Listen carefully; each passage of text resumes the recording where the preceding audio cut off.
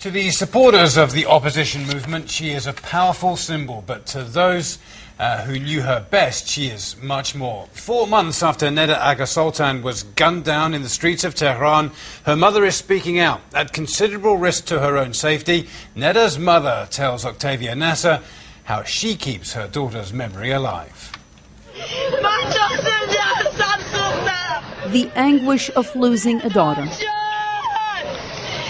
On the 21st of June, Neda Agha-Soltan was laid to rest a tragic symbol of the protests that gripped Iran. She was shot as she walked to her car after a demonstration. For her mother, Hajar Rostami, it was the first day of a pain that will never heal. Neda's last moments were captured on video and flashed around the world. Her mother could only watch it once. It is the look of death in her eyes, she says. Hajar Rostami spoke to CNN from Tehran a few days ago. She told us that look is with her every morning when she wakes up and every night when she goes to sleep. Neda was strong and brave, she says, in a whisper in her native Farsi.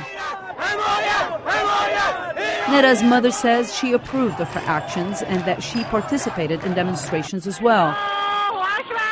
She tells us the family wasn't with Mousavi or against Ahmadinejad, but demonstrated for freedom.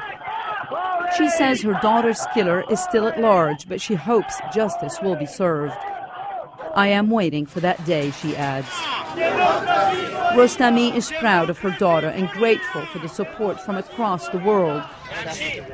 Rostami visits her daughter's grave every Friday People go and write on her grave in red ink the word martyr, she says, and then the authorities go and wipe it off.